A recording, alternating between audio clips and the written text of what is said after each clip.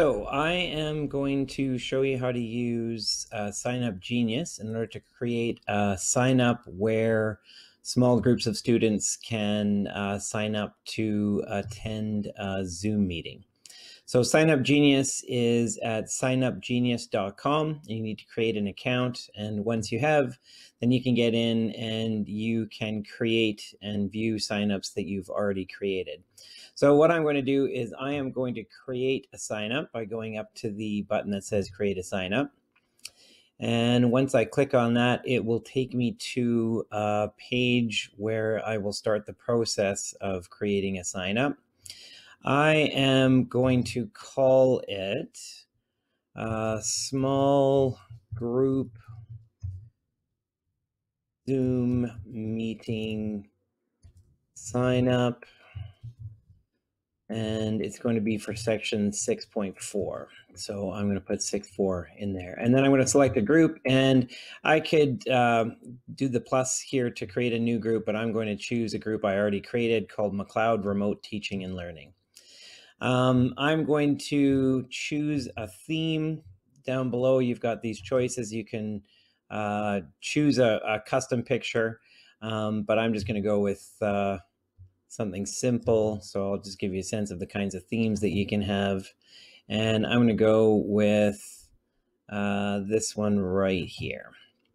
So it says book fair library, but it's got a picture of a book and it looks like some exciting stuff is coming out of the book. So that seems appropriate for school to me. So I'll click save and continue. And now I'm going to uh, choose at the beginning to sort by date. Uh, and you can sort of play around with these and experiment to see which ones would work best for you. But for my purposes right now, I'm going to do it by date. So I'm going to add dates. And I'm going to start on April 6th. That's Monday. And uh, the way I've set up my schedule is I've got a couple of slots each day for each of my sections where I want to have a small group.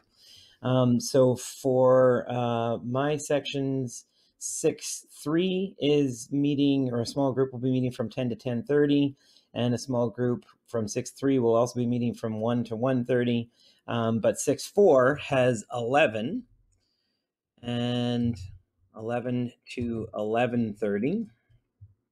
I'll just plug in 11 and 1130. And the location name, what I'm going to do here is I'm just going to put the address to my personal meeting room on Zoom. So I went on my Zoom profile page and I just got this uh, link for my personal meeting room. So there is the address that I'm putting in. So the location will be in that personal meeting room. And then I'm going to add another time slot on this date because, like I said, I've got uh, two slots that I want 6-4 to be able to pick, choose from on that day. So the other one that I'm going to have them choose between is 1.45 p.m.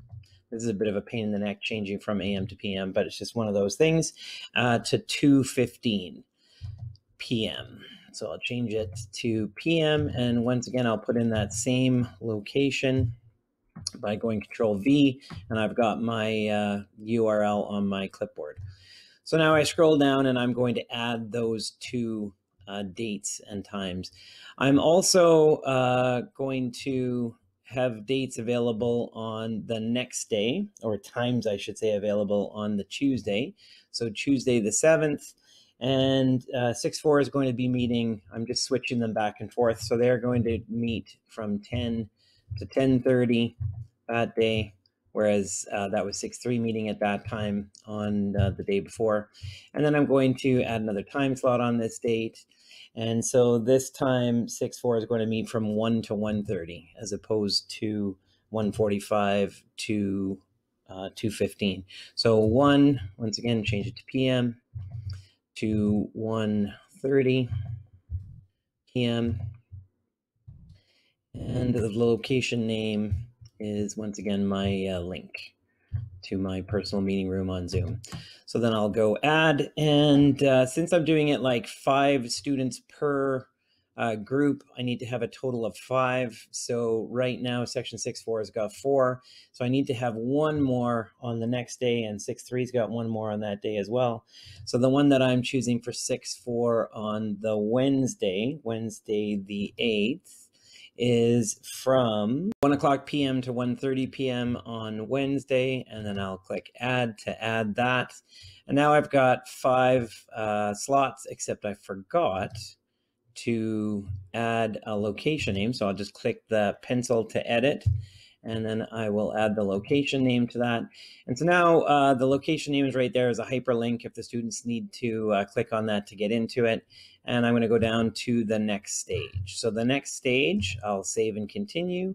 And I need to add slots. Can't believe I forgot to add slots because that was the whole point of this. So I am going to add slots to my uh, each of those periods. And I said I was going to have five students per slot. So I'm going to go bulk slots. And I am going to call them student participants. And then I am going to give five slots on all dates and save.